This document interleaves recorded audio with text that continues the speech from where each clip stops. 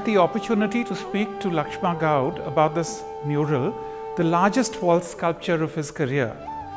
He mentioned that he was drawn to the idea of creating a toran or an entrance archway when he was looking for a subject.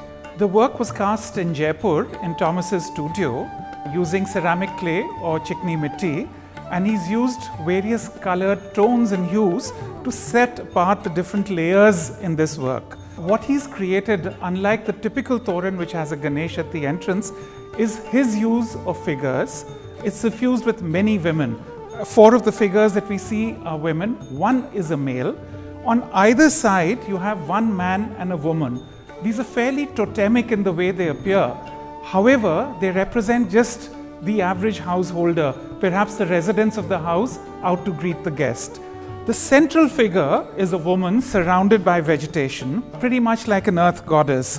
What he was hoping to capture was this entire sense of fertility in the countryside, something that he's always gone back to in terms of his drawings and his paintings.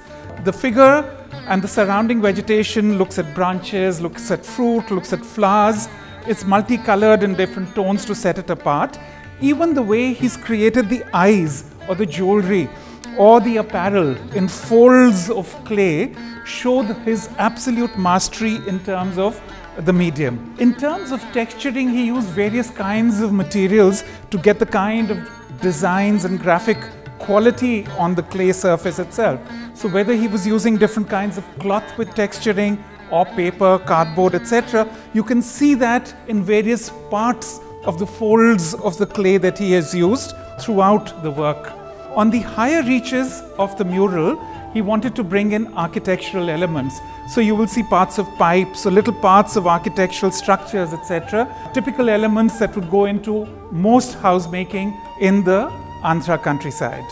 One would suspect that a mural of this size would take a considerable amount of time to make. When I asked Laxma Goud this, he laughed and said he was a student of Manida, K.G. Subramanyan, and had got into the habit of working very fast when working with clay. He said he had to work very fast in any case before the clay dried, and then, of course, it would be sent into the kiln, hopefully without getting damaged. In the making of this mural, for example, he said no damage was caused to any part, but any sense of firing, scratches, etc., are something that have added to the visual quality of the work itself.